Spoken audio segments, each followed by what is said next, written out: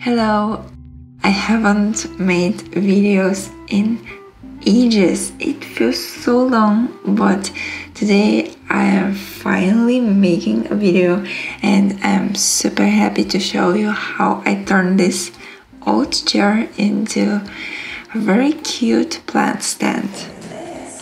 There is the tiniest little chair, which is really cute. I want to keep it. It reminds me of this part here of razor blades.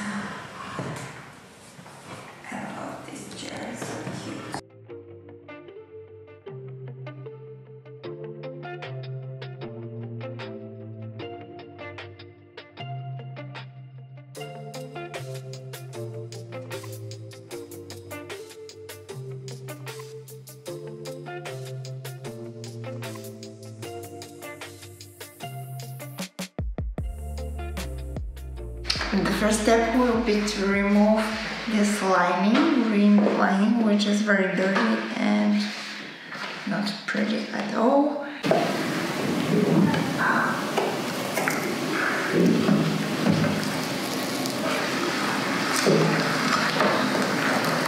So you don't. Thank you. Oh, that's great actually. I did it.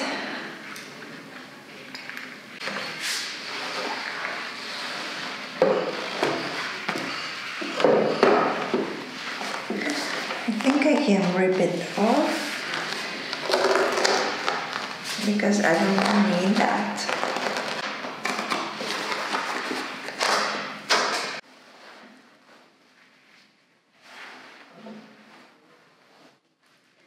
It's so fluffy.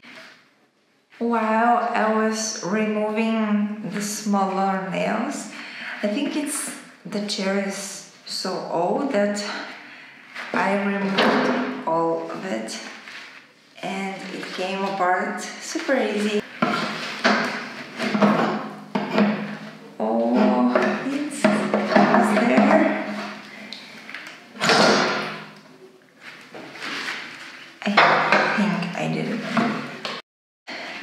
We have the sitting part and the legs separately, which makes it super easy to sand.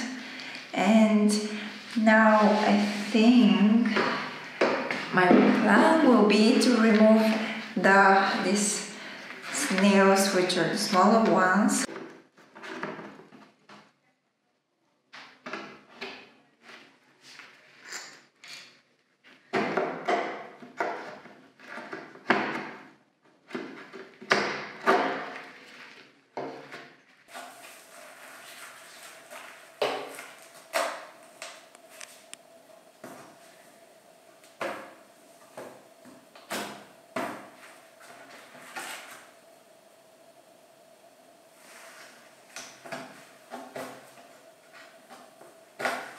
The next step will be to remove these front legs because one of it is broken.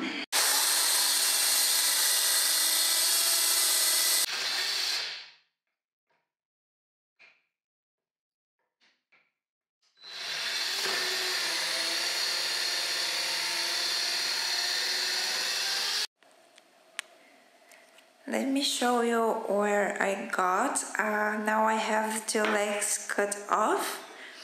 I made little mistakes right here and there are the other pieces. Let me focus. Come on. Here you go. Now that I have these pieces right there and the legs right here, I'm going to sand them. And that's the next step.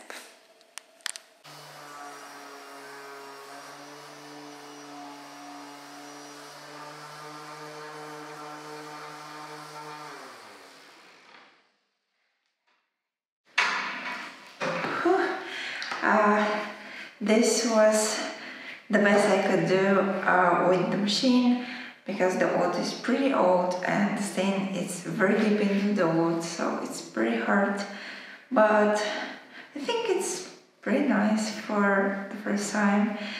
Now I will go with the sanding paper and finish the spots where the machine couldn't go. Let's do it. It's time for my favorite part of the process, which is staining the wood. As for color, I chose walnut, which I really like this color. It's an ashy brown color, it's not yellow. It's on the dark side, but I chose to uh, make Cerakote so I can control the darkness. Also, what is important and what I learned along the way and watching several YouTube tutorials is that you have to go into the direction of the wood grain.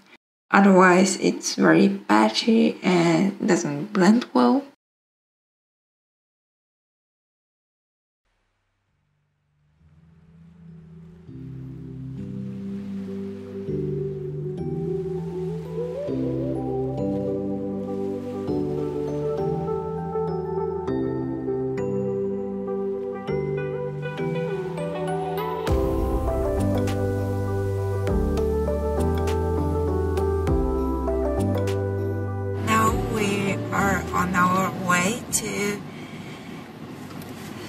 The apartment and we are going to finish the makeover of the chair.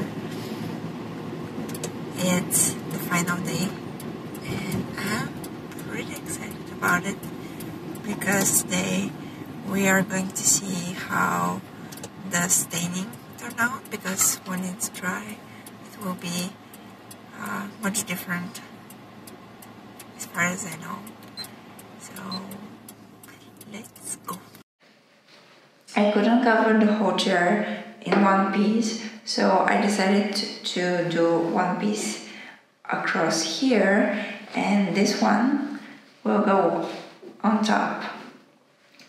And there will be a gap, but I'll try my best to fix it with glue, and hopefully it will look still pretty cute and nice and pretty.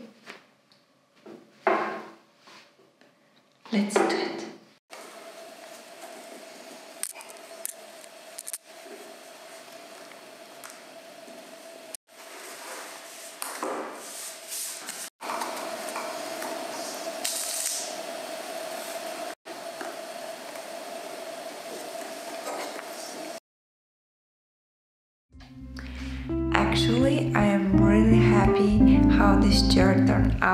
And I am so so proud of myself for managing to do this.